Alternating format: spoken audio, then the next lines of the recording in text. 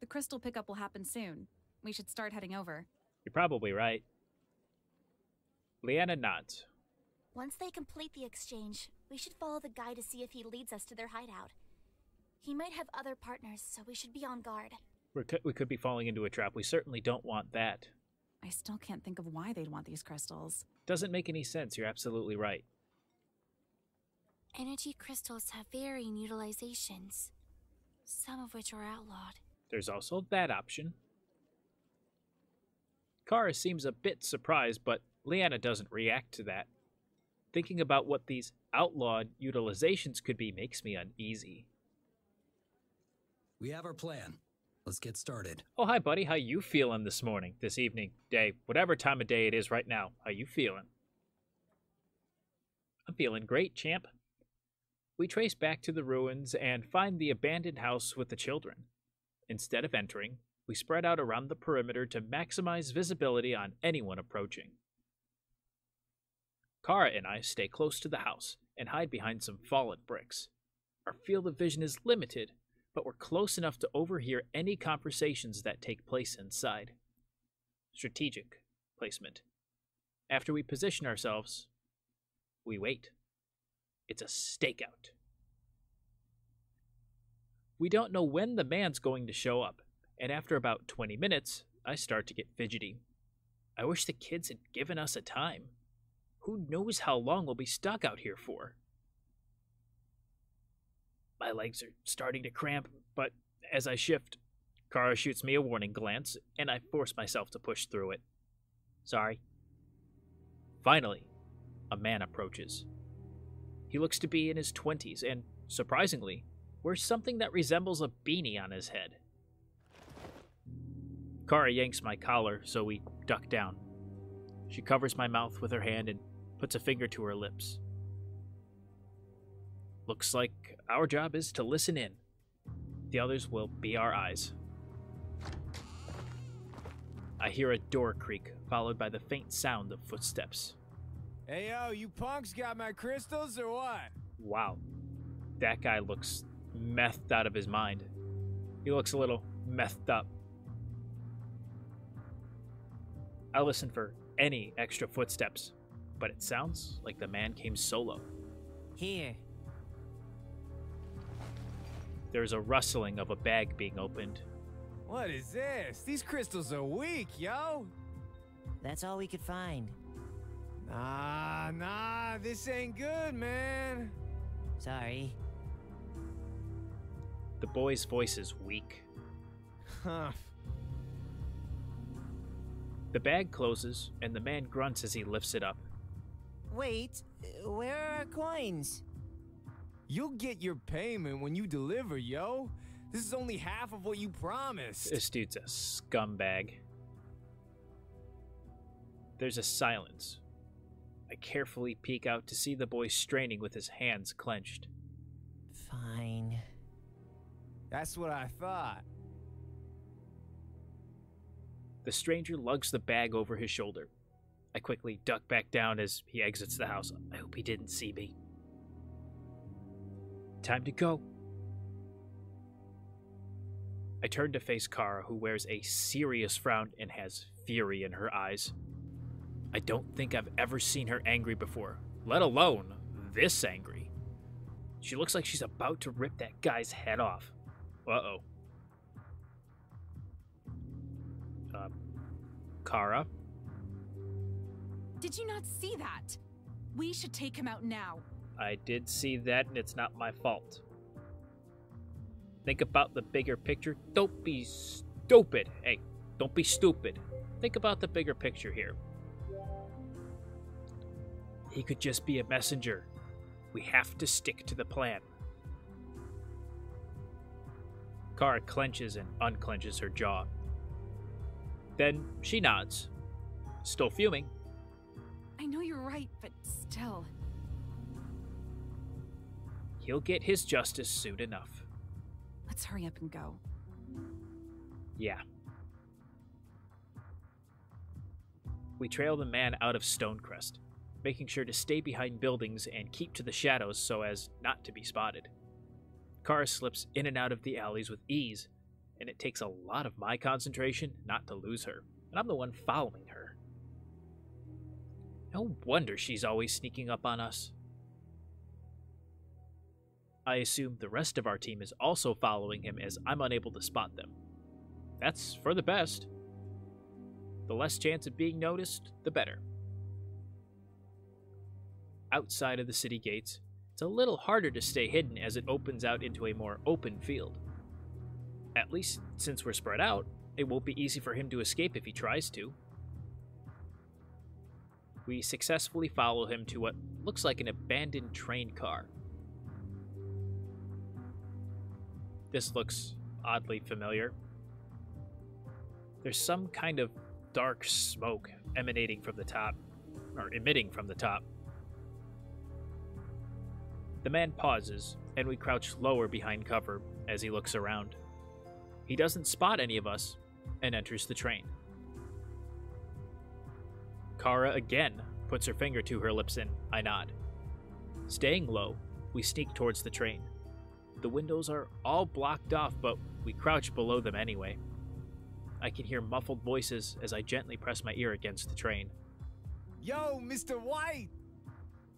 Jesse, how many times do I have to tell you to call me Heisenberg? That, this is great. A Breaking Bad reference, this is fantastic. The man speaks softly, but his tone is strict and disapproving. My bad, but I got some crystals. Let's see. There aren't many and they're pretty small. I don't think we'd be able to get much out of them anyway. It doesn't matter their size. Once we're done cooking them, they'll be exponentially more effective. What are they cooking? Are they making lamp crystal soup or something like that? I don't know, man. They're tiny. How does that even work? It's a simple matter of science. Ah, yes, science. You serious? You can do something like that? Indeed. Yeah, Mr. White. Yeah, science. Heisenberg. Oh, right. My bad, yo. I hear faint clanging of glassware. I wish I could see what they're doing. A sharp snap cracks somewhere from behind me. What was that? I shift out of position to look behind me and see an animal scampering away. As I breathe a sigh of relief, I notice the absence of noise in the train. Uh oh, maybe they're spooked too. What was that? Before I have a chance to get down, one of the windows swing open and I am face to face with both of them. Hi guys. Don't mind me. I'm just an illusion. Whatever you're doing, I'm not real. Just just close the door. Close the window. I'm not here. Go about your business as you were. The younger man with a beanie, Jesse, stares at me with wild eyes. The second man is much older, maybe the age of his father, and fixes me with an inscrutable stare. He looks surprisingly normal, not like someone who'd get mixed up with something shady. Jesse turns around and darts out of the back exit. Run! Mr. White joins him as Kara and I sprint to the other side of the train. Thankfully, Leanna and Zack are already there, our muscles waiting. Leanna points her blade at them. Surrender and come with us peacefully. Jesse looks like he's about to bolt, but Zack fixes his discharger on them. I wouldn't move if I were you. Crap, what do we do? I don't like that laugh. Why are you laughing at a time like this? Amelia stands a good distance away, her manipulators glowing. After looking over the older man, she frowns. The brandy no void. I'm sorry, the what now? Quite the observation, young miss. Wait, what? You're a part of Void? Mr. White merely smiles. I didn't sign up for this! Don't be so naive. You think the crystals were just going to magically create more energy? Your intent was to perform shadow transmutation on the crystals to create tainted spheres. Again, he doesn't answer.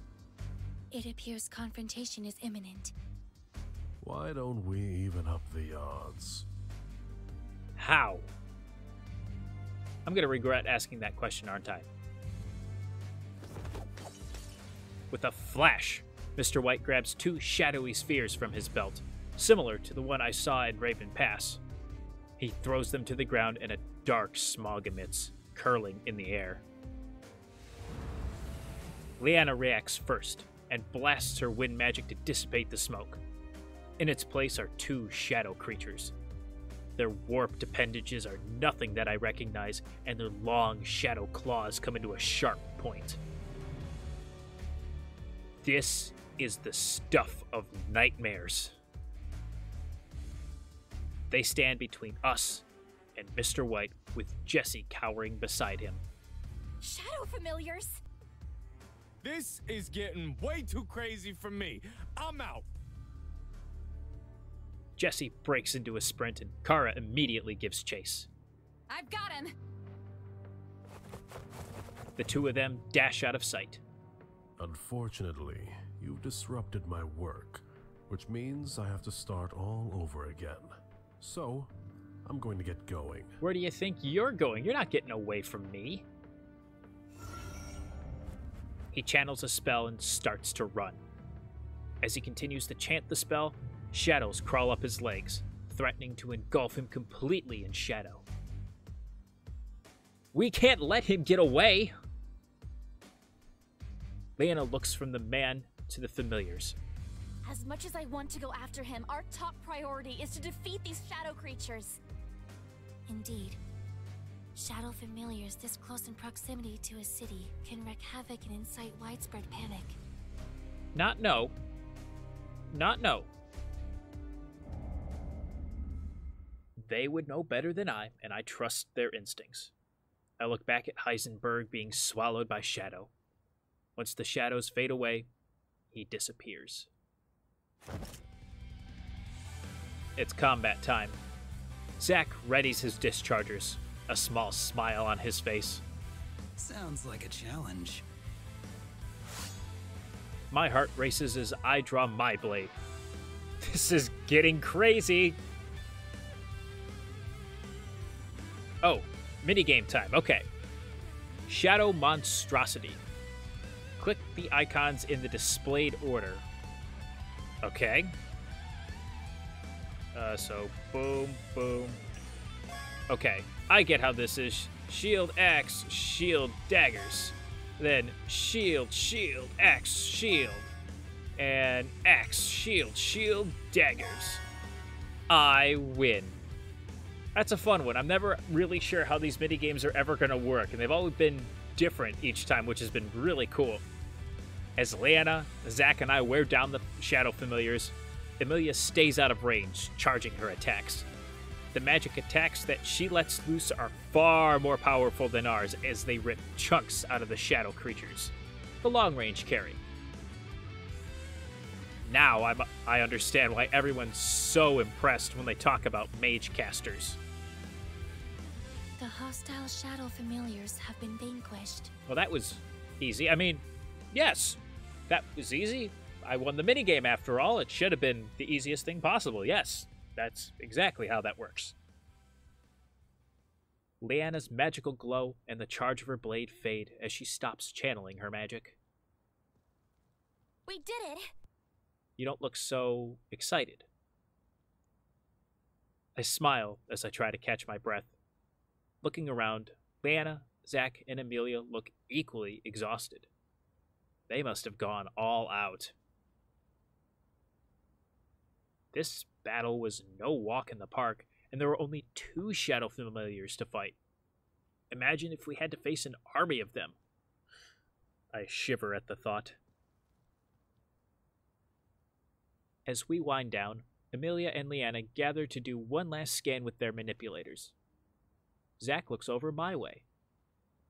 Looks like some of that training is finally paying off. Hey, bite me, asshole. I won the drinking contest. You have no right to talk. Thank you. Still mad at you for shooting me that time. I hope to get even stronger. Okay, I'm going with my kind of sense of humor of just giving him a hard time. Still mad at you for shooting me that time. It helps when a certain jackass doesn't shoot me during a melee spar. Zack snickers, then shrugs. Hey! An appropriate reaction from him. I'm glad I picked it. We turn at the sound of Kara's voice. She waves at us with one hand as she uses the other to drag Jesse back. She plops him down in front of us and he falls ungracefully to the ground. I see that his hands are bound. Kara stands over him, her face grim. Now, you're going to tell us exactly what you know. I don't know jack squat. Mr. White was paying me to get crystals, and that's it, yo. So you were not an accomplice to the shadow transmutation. I don't even know what the shadow transportation is. Transmutation, stupid. Transmutation. Thank you, waifu. See, we're on the same wavelength. Exactly. We glare at him. Look, I made a few deliveries to him. The first couple of times he wouldn't tell me what he did, but paid some good coin. But later he said he was going to show me so I could help with his operations. He was going to give solid pay for that too, yo. I look him up and down. He stares desperately at us, and it's clear to me he's scared. This doesn't seem like the kind of man Void would trust with any kind of responsibilities, let alone most men with any responsibilities. I'm inclined to believe he's just looking for some fast cash. Kara seems skeptical, but Amelia and Leanna seem to have come to the same conclusion I have. Zack crosses his arms, just mad he didn't get a chance to shoot them. Better hope the guards believe your story. Jesse looks like he's about to protest, but sighs instead. I think he realizes there's no chance he's going to escape. The bag of stolen crystals is in there. He didn't grab it before running out. Leanna enters the train and returns with a bulging bag. Let's go turn him into the guards. They'll take it from here. Zack hauls Jesse back to his feet and leads him back towards town. Luckily, it's late at night, so very few people walk the street. The few who do give us long stares as we pass them. Why are you guys walking with a man with his hands bound? Either this is some kinky thing, or you're just weird. When we arrive at the guard barracks, the person on duty gets to his feet. He looks at Leanna in recognition. Oh, it's you again. We found the source of your missing crystals. Zack pushes Jesse forward and he stumbles into the guard, who grabs a hold of him. The guard eyes him up and down. It's this guy? Oh man, it was all cuz of Void. The guard stares at him, clearly unconvinced. Uh huh. Maybe in lockup you'll have time to think up a better story. I'm telling you the truth, bitch. The guard frowns and passes Jesse off to another guard who takes him into the back. Then the guard turns back to us. Hopefully you won't have any more issues. The guard grins and looks relieved. I can't thank you all enough. You have no idea how much of a thorn in my side this has all been. As promised, there's a reward for helping us catch the culprit. Oh, there is now! That'll work for us. He produces a heavy satchel of gold, which he hands over to us. Thanks again for all your help, and I hope you have a safe night. Thanks. We leave the guardhouse and equally divvy up the reward money. As everything settles down, the group decides to return to the inn because It's been a long night. It's time for bed. I'm glad we got to the bottom of things, but I can't help but wonder what will happen to those kids? There's nothing I can do or share my reward with them. Well, sure, I don't know all too much about these kids and their background and everything since Zack and I were drinking. Best use of our time there. So, I mean, the least I can do, because it sounds like they really helped us out and that, and Jesse was being quite a jerk to them earlier, I'm going to share my reward with them just because I'm a complete stranger to them essentially, doing them a favor. I'll meet you guys at the inn. I think I forgot something. I slip away before anyone can ask me any questions and make my way back to those kids. They were dependent on that crystal money to survive, and I can't sit by and do nothing to help them. Gotta be a good Samaritan. I know I don't have much to offer, but maybe giving them a cut of my reward can help tide them over.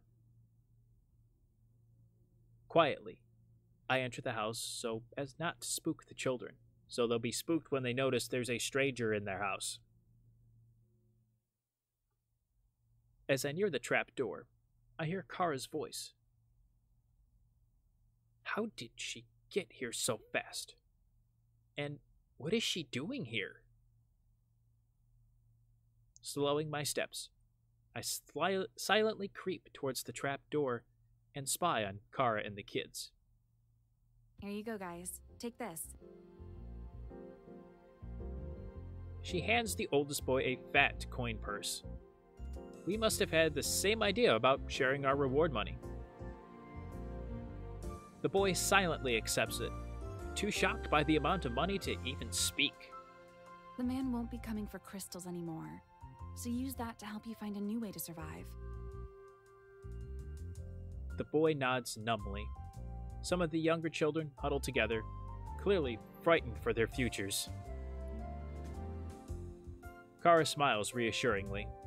I know it seems scary, but I promise if you stick together, you'll be fine. The kids hug each other. Daw. I won't let anything happen to anyone. Good. I know you won't. Take care of yourselves, okay? And stay out of trouble. Kara turns to leave, and I scramble out of sight. She doesn't notice me as she hurries away. It seems like she's got a soft spot for these kids. I better do what I came here to do and get back before people get too suspicious. Hey, kids! I go down into the trap room. The oldest boy looks up at me in surprise. Here. I toss him a small bag of my coins, which he fumbles before catching. He looks genuinely surprised, as if he can't believe it's happening. But why? If it weren't for you, we wouldn't have caught the bad guys. You kids were a big help. Really? He looks at the other children, who give him hopeful eyes. Then he grins. Thank you. I nod. I should be getting back. Once I return to the upstairs, I hear the children scramble below and a series of excited gasps as they inspect the reward money. Wow, the girl gave us so much! I've never seen so much money before in my life! The boy still gave a lot, though. More than we got from crystals. Whoa. Just how much money did Kara give? Was it her whole reward? Let me know what you think in the comments down below. Did she give the whole reward? Just about the whole reward? Or more than? Maybe she dipped from her own pocket to help these kids out. Let me know what you think. For a treasure hunter, that seems very generous. Maybe there's more to it. I wonder what it could be as I return to the inn and meet up with the rest of the group. As I enter the inn, Leanna looks around. Where's Kara? Kara's not back yet? But she left before me. I don't know. I thought she was following everyone back. I thought so too. Leanna bites her lip and furrows her brows. I'm sure she'll be back soon.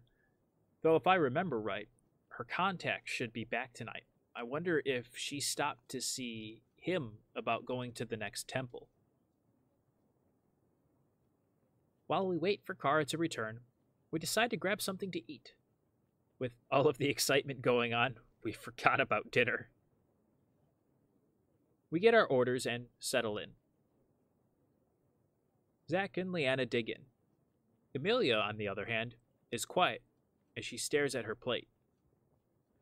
Is she okay? Emilia? She looks up at me. Yes? Something wrong? She shakes her head. No. I was pondering about the lab at the Void Hideout, which was used to perform shadow transmutations. What exactly is that? I'll pass on the exposition. Now, what what exactly is that? I've been meaning to ask. What is this shadow transmutation you were talking about earlier? It is the process in which shadow energy is merged with a crystal containing another form of elemental energy. This fusion causes an overwhelming surge of energy to spawn, which consequently destabilizes the crystal and causes the shadow energy to become uncontrollable and very dangerous. This is what we refer to as a tainted sphere, like the one the Treasurer used in Raven Pass, and what was used to summon the Shadow Familiars. It didn't seem uncontrollable when they used it, though. Perhaps not those times. However, as it is destabilized sphere, the energy is unpredictable. It's possible it will cast properly, but equally possible it will implode upon itself at any time, which would be fatal to the mage in possession of it. Sounds like it may be a 50 50 shot. That's a best case scenario. Imagine if one of those crystals went off and spawned a shadow familiar in the middle of town. I don't want to think about that, though. Because that would definitely be bad. That's why shadow transmutation has been outlawed, even before the Treaty of Asaria. I thought you said all use of shadow magic was banned. Yes, but there were legitimate users of shadow magic before the war. And like that, you lost to me. Shadow magic is not innately harmful. It was originally used in non destructive ways, just like any other element. That being said, a group of practitioners abused the usage of shadow magic, which revealed just how dangerous it can be when used in such a manner.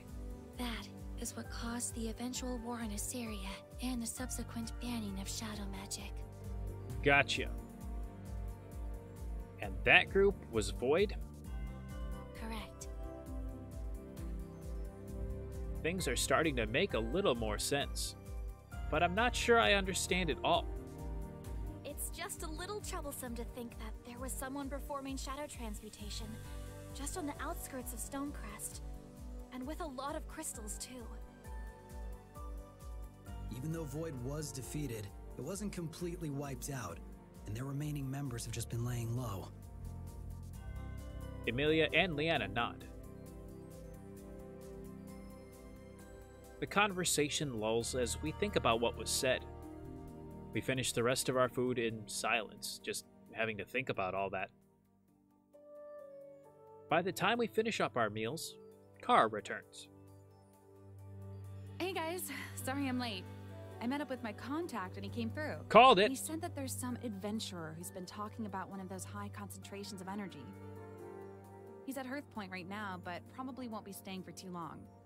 We should head there in the morning and see what he knows. What's the guy's name? Arton Hunt. Zack shrugs. I guess he doesn't know him. It might sound like just a rumor, but there's always a grain of truth in a rumor. At the very least, we should be able to get a clue or two. Do some investigative work ourselves. Leanna nods. Okay, tomorrow we'll head for Hearthpoint. Amelia nods. I yawn widely. Uh. Tonight, though, I'm ready for bed. The team murmurs their agreement, and we all turn in early. Been an exciting day. It's been a long day, and that fight really took it out of me.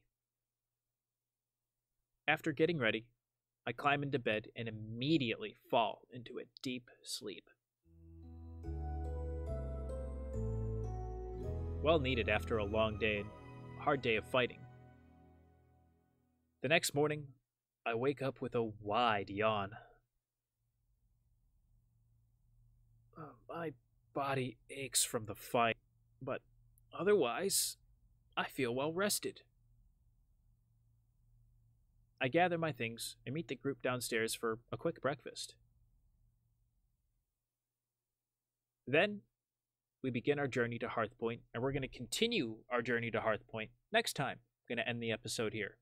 As always, if you did enjoy the video, make sure to let me know by hitting that like button down below or leaving a comment. It really does help me out. Also, feel free to follow me on twi- uh, Twitter and Instagram, just slash Sylarclone. Be more than happy to talk with you guys on there and see what I'm up to and get daily uploads as to uh, daily notifications as to what I'm up to and kind of what I'm doing and when a new video goes live as well. And as always, I will see all you heroes in the next video. Thanks so much for watching. May the force be with you and have a great rest of your day. Take care.